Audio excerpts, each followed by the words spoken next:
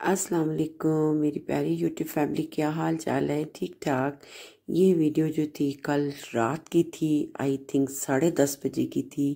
तो ये मैंने जो था ना क्लिप ये अपनी आज वाली वीडियो में ऐड किया। तो ये हमारी रात का टाइम था, मगरिब हमारी हो चुकी थी। अभी ईशा नहीं हुई थी और बाहर का आप वेदर देखे। आज मैं लाइव भी थी आई थिंक साढ़े आठ तक मैं लाइव रही थी, फिर मैंने खाना बनाया। आठ बजे तक सॉरी फिर मैंने खाना बनाया और उसके बाद रात को खाने देने के बाद फिर मैंने ये वीडियो कैप्चर की थी। आप लोग बताएँ, सब बहन भाई, बच्चे, आंटी, मेरी बेटियाँ, मेरी प्यारी प्यारी दोस्तें सब कैसी हैं? यकीनन खैरियत से होंगी। अल्लाह सबको खैर खैरियत से रखे, अपने हिफ्स ईमान में रखे, खुश रखे, अपने घरों में आबाद रखे, सारी तकालीफ से दूर रखे और जो बीमार हैं, अल्लाह उन्हें सेहत अता फरमाए। आमीन। ये तो थी मीठी सी दुआ। और ये जनाब, रात का सीन इतना खूबसूरत था कि बयान तो मैं कर नहीं सकती, आपको अंदाज़ा हो रहा होगा।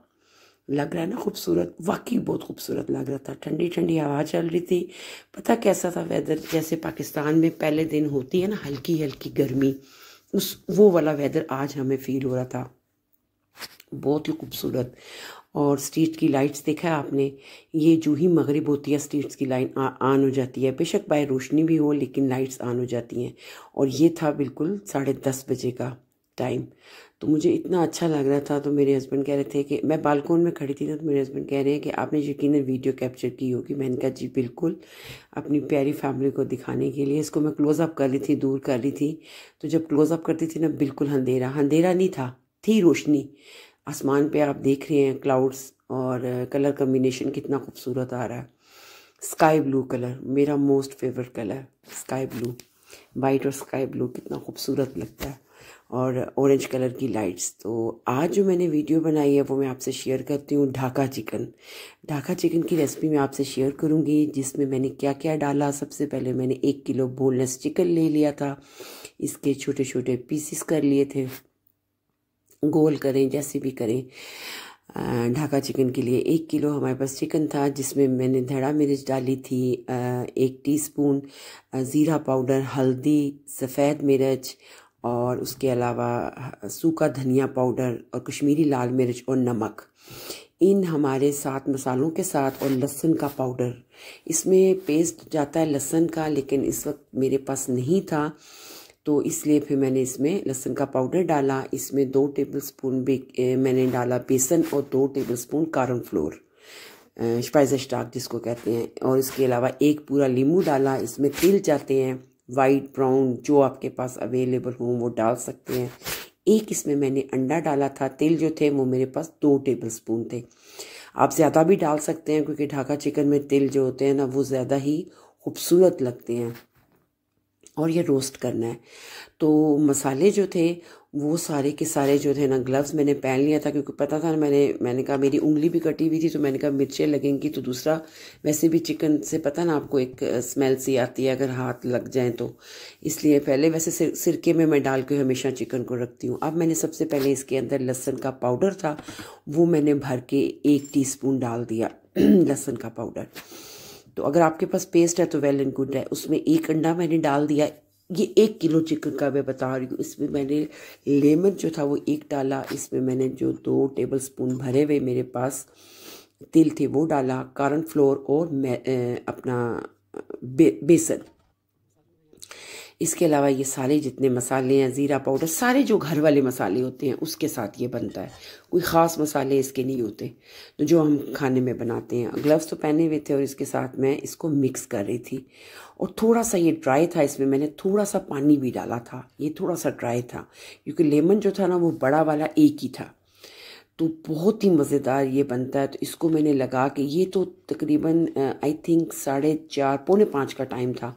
तो मैंने इसको तकरीबन साढ़े आठ बजे जो था ना, वो करना था फ्राई हस्बैंड जब आएँगे तब भी करना था। इसमें मैंने एक टीस्पून तिल मैंने और डाल दिए थे। तो तिल का बहुत ज़बरदस्त टेस्ट आता है इसके अंदर। इसको मैंने लगाया प्लास्टिक का फोलिया, इसको रख दिया फ्रिज में तो मैंने कहा अच्छे से मसाले लग जाएँगे। उसके बाद रखने के बाद इसको मैंने, जब हस्बैंड आए वो किंग किए हुए थे आई थिंक।